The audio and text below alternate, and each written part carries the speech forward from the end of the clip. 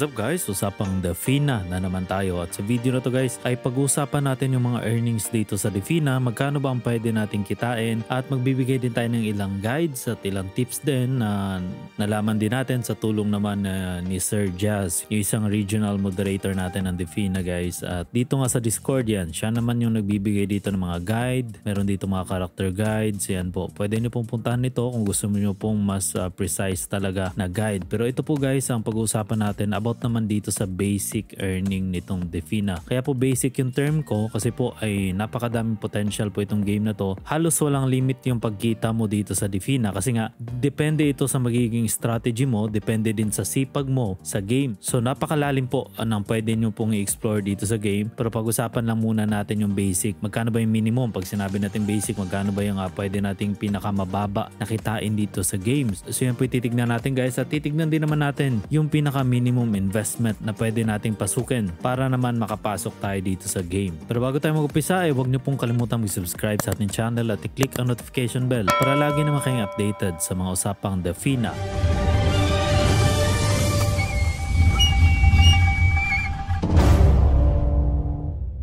Defina. Pag-usapan nga natin yung earning dito sa Defina guys. Pero bago natin na uh, pag-usapan yan, ito po, meron silang uh, last na yata to na sale nila. Panglimang sale na po nila nito mga box nila. Mystery box po. At chance yun na nga po ito na makakuha. So meron silang 4,800. Ang pagkakalam ko is last na to. At mawala na tayong ibang uh, pwedeng uh, bilhan nitong mga NFT nila. Kundi dito na sa marketplace. At medyo nagmamahal nga yung price dito sa marketplace guys. At I think maganda siyang investment na kung ayaw yung laruin. Ang gusto nila lang ay itong bumili ng mga mystery box. Pero may whitelisting po ito. So kailangan nyo pong magpa-whitelist dyan sa Discord nila. At pag nakabili nga kayo dyan at nakakuha kayo nitong mga kahit S lang oh, halos times 3 na sa investment nyo. Times 2 yan sa investment. Tapos SS guys, yung mas mataas na rarity nito mga cards, mga mas mataas na rarity nito mga characters nila ay yan, sobrang taas. Halos times 6 yata ang price. Tapos uh, ito naman triple S na wala po ako niyan kasi uh, napakamahal guys, 4,000. So isipin nyo yung 4,000 4,000 na yan ay pag nakuha nyo yan or nabunot nyo dyan sa mystery box ay nasa around 7,700 USDT po yan. So konti na lang, kalahating milyon na ba? Or sabihin natin 300 plus thousand na po. Yan namang mga cards na yan. Pag nakuha nyo yan, triple S na yan guys. So magandang investment siya sa tingin ko. Pag meron kayong uh, pera, ba? May budget kayo, kuha kayo na mystery box pagka sunerte kayo. At pagka hindi naman kayo sunerte, ay solid din naman yung price niya guys. Kahit A lang yung makuha nyo, nasa around 6,000 din po ito around 20 hours na lang po ang uh, hintayin natin dyan at dito sana po ay makakuha ako. Ako po ay nagpa-whitelist na rin at abangan ko yan mamaya. So puntahan natin guys, Defina naman. So andito na tayo sa pinaka-app ng Defina. Pag-usapan naman natin dito yung mga pinaka-basic sabi ko nga kanina or itong mga pinaka-minimum na pwede nating uh, pasukin dito sa game. So puntahan muna natin tong konting guide na nilabas naman nila about dito sa Defina guys. Ito naman, meron silang mga iba-ibang team kasi kailangan mo apat kasi na heroes or itong mga characters. Tapos uh, may mga iba-ibang mga ano sila dito parang uh, in-experiment nila. Yan,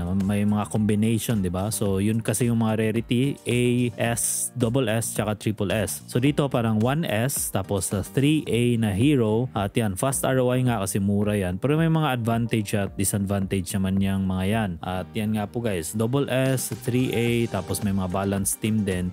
So nung tinignan ko po itong pinaka basic, ang pinaka lowest po natin pwedeng investment po dito itong 1S tsaka 3A nasa around 30,000. Pagka kinuha naman natin is itong apat naman na A, may advantage din yun guys ha kasi kung naka, nakikita niyo po nakalagay dito, same faction kasi itong mga card na to may mga faction po yan yan. Pag same faction, may mga effect po yan or may mga advantage yan sila kung tatlo or dalawang magkaparehas na faction. So may advantage din yung kahit A lang tapos magkakaparehas naman ng faction kasi may iba-ibang skill din yan eh. So depende rin sa magiging kalaban mo, mas malakas pala yung skill mo. So ang pinaka lowest mo talaga dito pwedeng uh, investment na pasukin tutukoy dito guys is nasa 25 around 25,000 po. Sa price naman ng fee na ngayon yan po yung price halos magtutuna ulit. So bumagsak po ito ng konti pero ito bumabalik sa 2 so medyo solid yung ano nito ha? Hindi siya masyadong talagang bumubulusok itong uh, price naman ng fee na. Yan bumabalik siya ulit sa 2 ngayon. So nasa around 25 po yung computation ko niyan. Ayoko na masyadong isa-isahin pa yung mga computation na yan guys. Kasi pag bumubuo kayo ng team para kasi siyang axie eh. Hindi wala talagang fixed na team. Kailangan mo talagang ikaw yung mag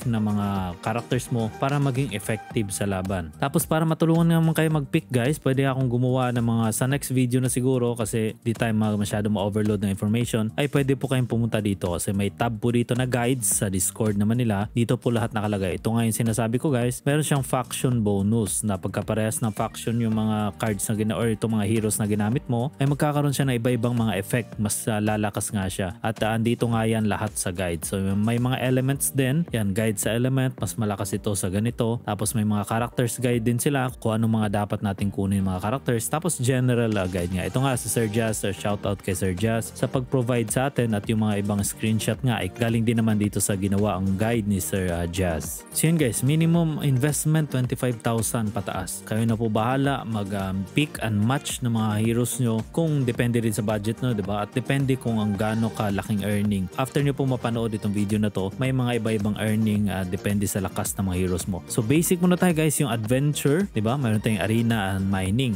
So itong adventure guys, pag nilalaro natin yan, kailangan natin ng energy. So wala na akong energy. Ang pwede po natin gawin is uh, pag clinic po natin tong plus, pwede tayong bumili actually ng energy. Magbabayad ka ng fee na or pwede ka rin uh, gumamit mga potion uh, yung napanalunan mong potion sa mga iba-ibang quest. Kaya naman pwede dito. So gamit lang tayo guys ha, para mapakita ko po sa inyo yung pinakalaban. So try natin siguro kahit dalawa lang kasi medyo expensive or medyo valuable to mga energy potion na to eh. At ito guys, nakakuha na tayo ng uh, stamina pala to. Energy kasi doon sa ibang game eh. So stamina lang yung tawag nila dito guys at yan nga nakuha tayo ng 10 kasi yung isang potion na ganito ang makukuha naman natin ay tig 5 naman na stamina. At yan nga, kaya tayo nakakuha ng 10. So pwede na tayo mag-adventure. So dito naman sa stamina na to guys, ang pinaka-minimum natin pwedeng makuha every day. So based din dito guys, ito naman nagaling naman kay Sir Jazz ML din na screenshot natin yan po. Ang binibigay na stamina dito guys, every day, daily po ito ha. Pag meron kayong 4 to 7 characters, sa minimum nga 4 para makapaglaro, ba? Kung meron po kayong 4 to 7 characters guys, magkakaroon kayo ng 20 stamina. Ito na mga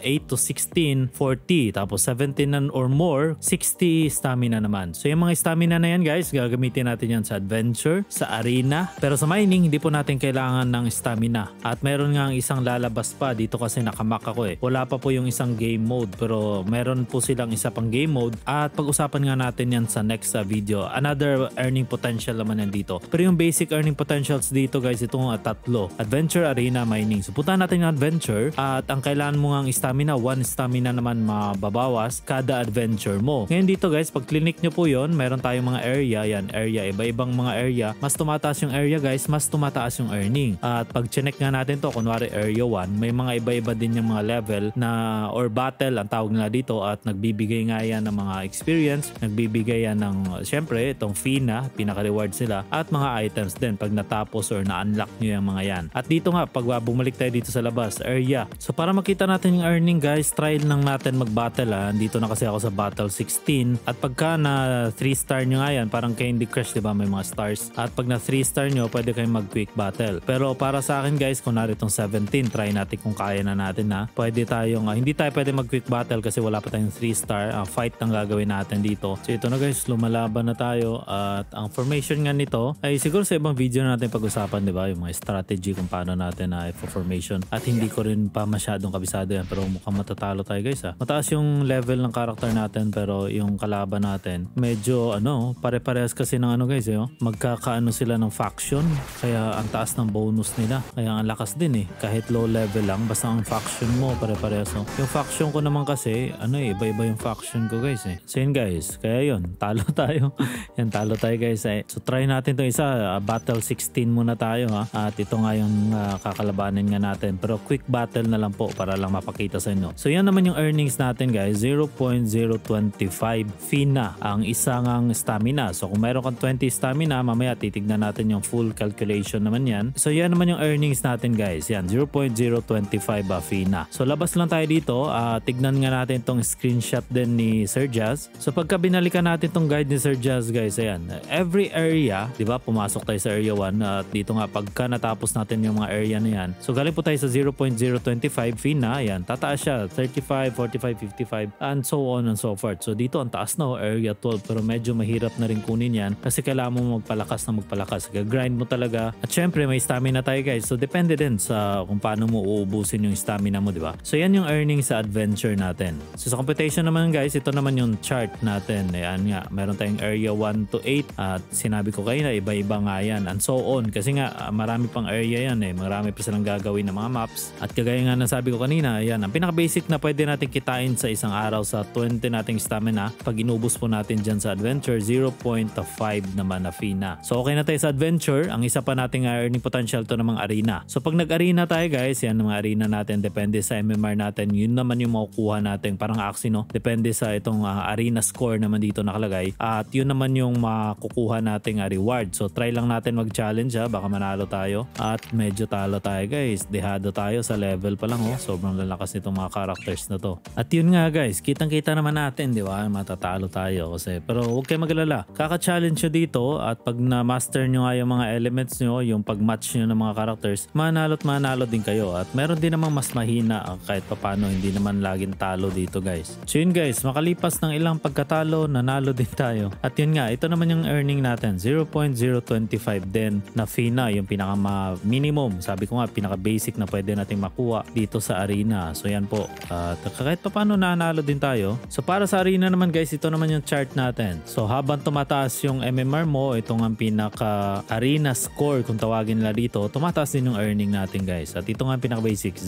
0.025. Parang adventure lang din no. Pero para sa akin, kung baguhan lang kayo, hindi nyo pa alam at hindi pa kayo malakas nga dito sa PvP, siguro mas maganda ubusin kasi parehas lang ng ano, parehas lang ng earning itong arena sa adventure pagka inubos mo yung stamina. Medyo mas sure pa, di ba, na mananalo tayo sa adventure kasi pwede tayong lumaban sa mas mababa eh. Dito naman ay wala tayong kasiguraduhan kasi baka malakas din yung magiging uh, kamatch natin. Kaya maganda siguro ubusin sa adventure muna itong uh, stamina natin kung hindi pa tayo ganun kagaling sa game. Pero yun po guys, yan yung chart natin tumataas. And so on nga din kasi nga depende din sa gaano ka kalakas, di ba? Pag lumagpas ka pa dyan, mas madami ka pang makukuha ang fee na. At yan nga, sa 20 stamina, 0.5 din na makukuha mo. So yun yung arena natin. Balik tayo dito sa dashboard. Ang next naman natin guys, ito namang mining. So sa mining, may mga iba-ibang uh, earning potential dito. Kailangan to strategy guys eh. So ang pinaka-basic na pwede mo namang gawin dito, paano ba kikita dito, ay magsa-scout ka ng mga mining area. Yung mga mining area natin guys, ay ito ngang mga, yan, may apat tayo. At sa apat na yan guys, balik tayo dito sa guide natin. Meron yung mga required na mga rarity na mga heroes mo, itong mga characters mo. Yan nga, yung pinakamababa natin, A lang ang kailangan mo. Pero yung iba, mayroon tayong S at isa lang ang kailangan mong hawak dyan para makapasok dito sa mga mining. Pero mahirap din kasi meron kunwari itong pinakamataas na meron puro triple S yung mga characters niya. Medyo mahirap ng uh, kalabanin yan. So para makapag-umpisa lang dito guys, mag-scout uh, na tayo. Yan, mamili lang tayo. Kung hawak nyo naman yung tamang mga rarity ng mga characters nyo, pwede kayong mag-scout niyan. Ako po hanggang pangatlo ako pero hindi ko kayang uh, kalabanin yan. Eh. Kunwari scout natin tong pangalawa. Yan, may mga naka-occupied na may mga shield. Pag may shield guys, ibig sabihin ay kaka-occupy lang nila, may libre pa silang shield or gumamit sila ng uh, parang item dito para magkaroon ng shield. So tayo po guys, meron din tayong makukuha item. Kung titignan natin yung bag natin yan. May mga items tayo. Ito yung pwede natin gamitin para magka-shield yung mga mining pool natin para nga hindi pwedeng agawin ng iba. Kasi po pagka yan, pwedeng agawin sa iba yan pag nawala na yung shield at may timer nga yan. So scout pa tayo. Same ulit, ito namang uh, itong pangalawa. Yan, scout lang ng scout hanggang uh, makakita tayo.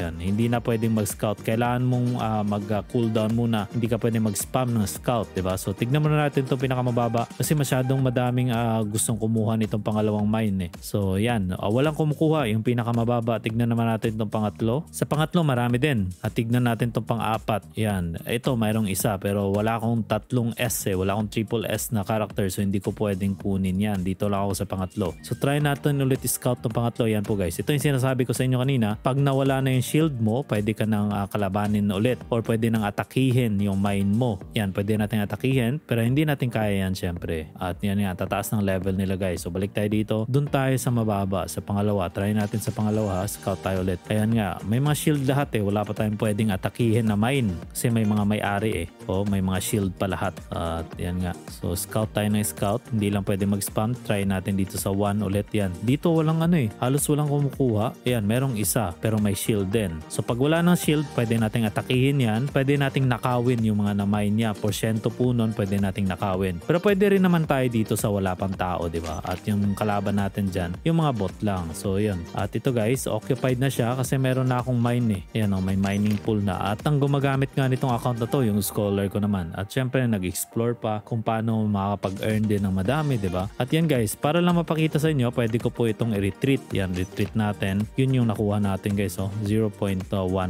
At yun nga yung nakuha natin. So, pwede na tayong mag-scout ulit dahil meron na tayong apat ulit na characters. So, try natin dito sa pinakamababa. Ayan, halos wala talaga nag-occupy dito. Kasi nga, ano din eh, low level lang eh. So, pwede tayong maglagay nitong mga characters natin. Ayan, eh, formation lang natin hanggang apat po ang pwede nating malagay. So, pwede natin to ilipat. Ayan, dito naman yung isa. At fight natin to. Pag nanalo tayo dito guys, at ma-occupy na natin yung pinaka-mine. At may shield nga yun sa umpisa. Pag nanalo tayo one time, may shield yun, may oras. After nun, pwede na nating or pwede na tayong atakihin ng ibang mga players naman. At pag nanalo sila or natalo tayo, ay pwede nilang makuha yung mga porsyento ng minina natin. At yan guys, meron na tayong mining. Ito yung sa akin. Pag clinic po natin yan, ayan yun, naka-occupy na yung mga characters natin. Ang kagandahan lang dito sa mining, hindi mo kailangan ng stamina. At dito nga, pwede mong uh, hayaan lang yung mga characters na yan andyan, nagmimina. At ito nga yung makukuha mo every minute naman. Yan, nakalagay guys. Ngayon, isa pang uh, earning potential dito, pag nag-stake ka. So kung meron kang extra na mga fee na, pwede mong gawing uh, parang pang-stake mo ng mining, mata times to yung every minute na yan. So para sa data naman natin guys, ito ulit ang pinaka-chart naman natin. So yung pinaka-mababa, di ba? Pinaka-mababa tayong uh, nag-mine dito naman sa low concentrated uh, Kaya Night. At yan nga, ng, yan nga yung makukuha natin per minute. Ayan, may mga ano dyan, per hour, per month. At 41 fee na. Medyo mataas din yan ha. Wala naman tayong gagawin. Uh, hayaan lang natin. Magka-capture lang tayo ng mine, tapos hayaan na natin na mag-mine nun. Eh, tapos ito naman sinasabi ko, pag meron kang extra fee na, pwede ka pong mag-stake. Pag in-stake mo yan, double, magiging double yung kinikita mo. So, ang ganda nito guys, pagka nag-stake ka rin ng fee na kasabay nung uh, pag-mine mo dito sa game. At yun nga lang, mas mataas yung mine mo or itong uh, inoccupy mo na mine, mas mataas naman yung kailangan mong i-stake para mag-double yung reward. Pero kung wala ka naman fee na para ipa-stake dito sa pinaka-mining pool mo, okay lang din. Yung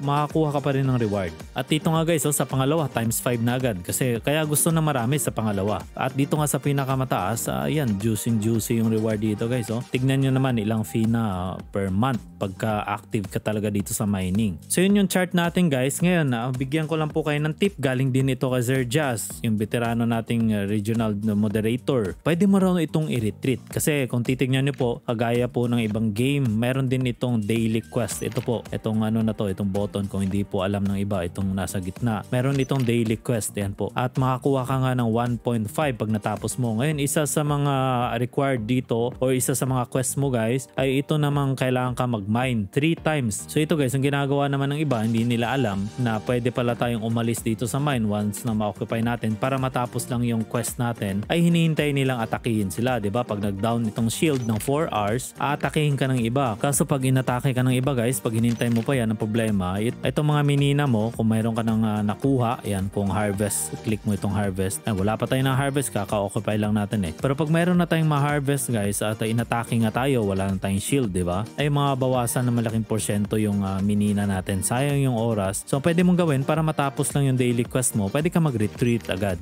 Yan. Yan yung mga minina natin. Kahit konti pa yung minina mo, pwede mo nang uh, pwede ka na mag-retreat para kunin yan. Tapos pwede ka ulit mag-mine. Yan. Mine lang ng mine, balik ka ulit. At yan nga, hanggang matapos mo tong daily quest mo. Ito yung daily quest mo guys yan. Three times uh, kailangan ka mag-occupy ng mine. Pag natapos mo na yan, makukuha mo na yung daily quest bonus mo na 1.5. At dito nga, mayroon pa tayong bonus dito na iba oh. 0.15 at yung isa pang 0.15. At mamaya, i-add natin lahat ng basic guys. Ito basic yung pinakakitaan dito. Hindi na wag na natin isipin yung mga extra, yung malalaking income. Yung pinakamababa lang na pwede natin kitain sa ngayon. So yan yung mining ha. Ang laki ng potential ng mining. Kasi pwede ka magpalipat-lipat eh. Ang isa pang uh, tip naman ni Zerja sa atin, pag dito daw guys, kunwari, kung kaya mo naman makipagbakbakan, kunwari dito sa Kaya Night Mine, yan, scout natin. Pag meron dyan na walang shield, ang pwede natin gawin, pwede nating atakihin, nakawin natin yung mga minina nila, tapos retreat na tayo, labas na tayo ulit, tapos magmimina tayo ulit, ihanap tayo ulit ng iba namang aatakihin. Pero ang problema dito guys, uh, naka-shield lahat eh. At yun nga yung sabi ko kanina, pwede kang maglagay din ng shield or mag-extend ng shield mo. Kasi ang libreng shield nasa around ilang ano lang po eh, may time lang po yung libreng shield. Pag naubos na yung time ng libreng shield, pwede nang atakihin. So para hindi ka maatake, kung gusto mong buong araw kang nagmamine dyan, chill-chill ka lang dyan, gagamit ka nitong mga items mo na nasa bag. Ito, nakukuha po ito sa dito sa quest, nakukuha po ito dito naman sa mga adventure yan. Nakukuha mo yan.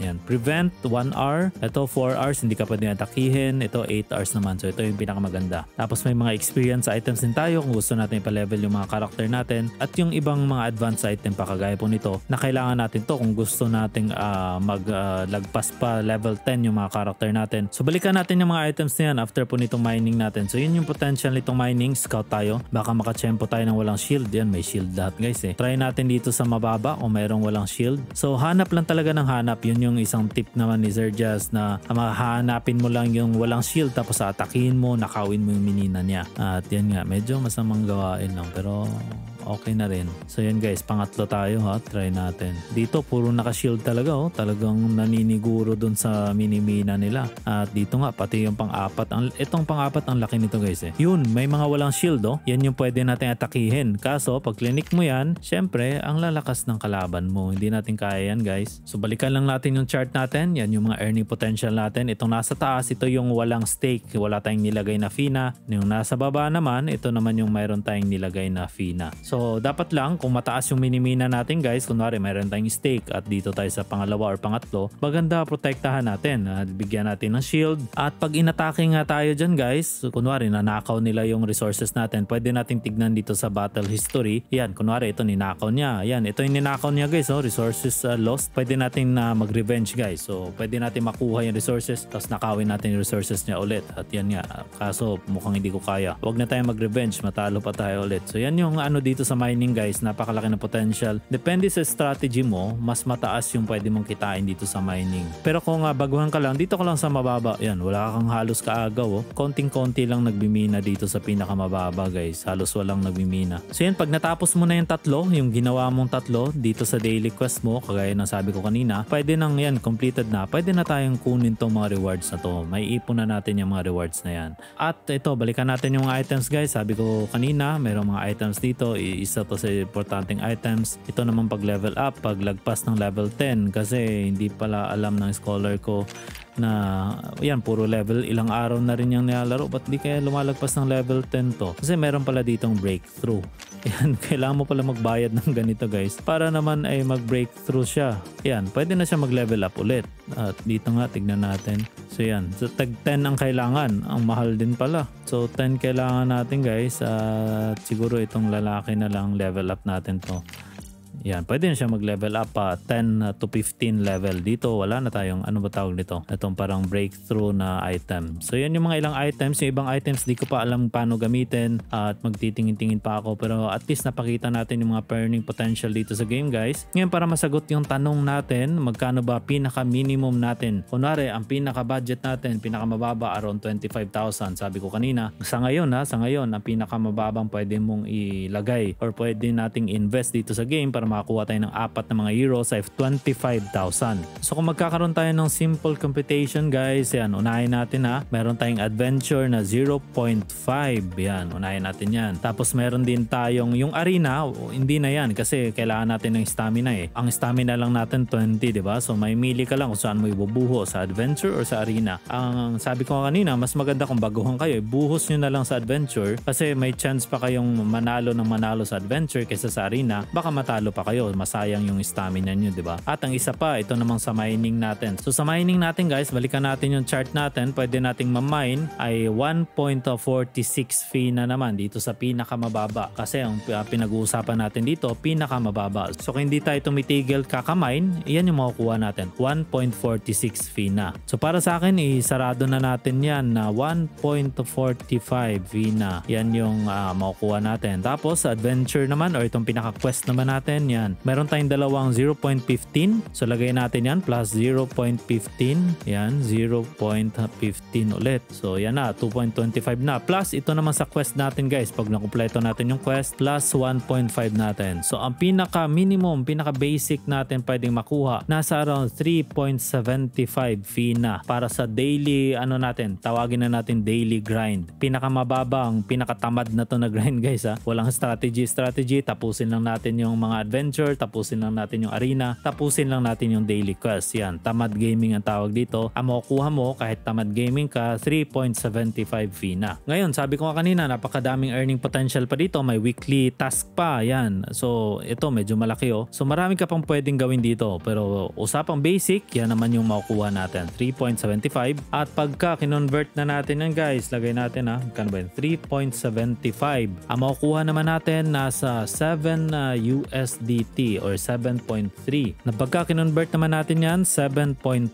Sabihin na natin 50 ang USDT. Nasa around 365 naman. At ang isang buwan naman yan guys, nasa around 10,950. Diba? So ROI mo nito, kung tamad gaming ka guys, 2 to 3 months. Yan yung ROI mo dito. Ngayon sa tingin ko, lalagpas at lalagpas kayo dyan guys. Pwede kayong kumita ng 1,000 mahigit sa araw. Pwede kayong kumita ng mas marami pa. Kasi dito pa lang sa mining, yung sinasabi ko nga sa inyo, ay wala po itong ano, wala po itong energy required. Pwede ka mag-scout na mag-scout. Pag mayroon ka nakitang uh, walang shield, pwede mo atakin, nakawin mo yung fina niya. So pautakan na lang dito kung paano mo gagawin yung gameplay mo dito, di ba? At yun nga, hindi naman pwedeng puro ganun kababa ang pinaka-earning mo kasi sa adventure, magle-level ka rin ng level area 2, area 3. So habang tumatagal guys, yung 3 months mo, magiging 2 months, magiging 1 month na lang yung uh, pinaka ROI mo kasi nga bumibilis habang nagle-level ka. So hindi ko rin masyadong mabigay yung ROI. Ang binibigay ko lang po ay idea naman kung magkano yung magiging uh, kitaan dito sa game. So yan, naglabas tayo ng mga chart guys. At sana po ay nakatulong yung mga chart sa inyo. At yun nga yung earning dito. Napakadaming potential ng earning. Dito pa lang sa arena, di ba? Kung mahilig ka makipagbakbakan, marami ka makukuha ang fee na dito. At kung sisilipin nga lang natin, oh, pinaka-basic lang kasi yung pinag-usapan natin guys eh. At yun nga, pataas ng pataas. So pagka maganda yung uh, combination mo ng mga heroes. Tapos dito pa sa mining pool, yan. May mga iba-ibang, pag pinaka-basic ka talaga, pag tamad ka talaga, mababa. Siyempre, ganun naman yan. Pero pag masipag kang i-explore yung game at marami kang mga magandang strategy na ginagawa, ay tataas ng tataas yung earning mo. Ayan nga, gano'ng kataas ng iba oh. So yun yung mga earning dito guys sa Adventure, Arena, Mining at meron pa isang mode na lalabas sila guys dito sa Mac OS. Yun nga lang, nasa Windows pa lang yata lumalabas yon at parang may pagkasugal yung dating nun kaya hindi ko muna titignan kasi kailangan mo magbayad ng fee para maka-join doon sa isang mode nila. Dito naman, ay itong tatlo na to, hindi naman tayo magbabayad ng fee. Ang kailangan lang natin is apat naman na hero at yan naman yung mga hero natin guys. Ngayon kung gusto nyo pumasok sa game, pinakamababa nga ngayon, sabi ko 25,000 ang pwede nyo pasukin. Pero bago nyo pong pasukin, tignan nyo mo itong mga guide ng element guides, itong faction guides kasi po mahalaga po ito na meron kayong mga combination ng mga hero kung anong gagamitin nyo. So sana nakatulong po sa inyo yung video na yun guys. At sa susunod, maglalabas pa tayo ng mga tips, maglalabas pa tayo kung ano yung mga combination na maganda ng mga hero, di ba? Pag-aaralan ko rin at pag-aaralan din itong scholar ko kung paano talaga siya laruin. So abangan nyo po yung mga video natin about naman dyan sa Defina. At shoutout nga pala sa mga mahilig sa Defina dyan sa channel or sa server natin guys kasi nag-open ako ng mga chat room para sa iba-iba namang mga games. So shoutout po kay Avil Ion, kay Dragonov Billy. Ang haba ng pangalan mo bro. Si Raptor X at si Alvin Cruz yan. Mga mahilig sa Defina. Medyo konti pa lang sa ngayon pero sana ay dumami din mga mahilig sa mga iba-ibang game dito naman sa server natin. So wag niyo po kalimutan mag-subscribe sa ating channel at i-click ang notification bell. Paki-like na rin po at share itong video. Yan lang po muna sa ngayon. See ya guys!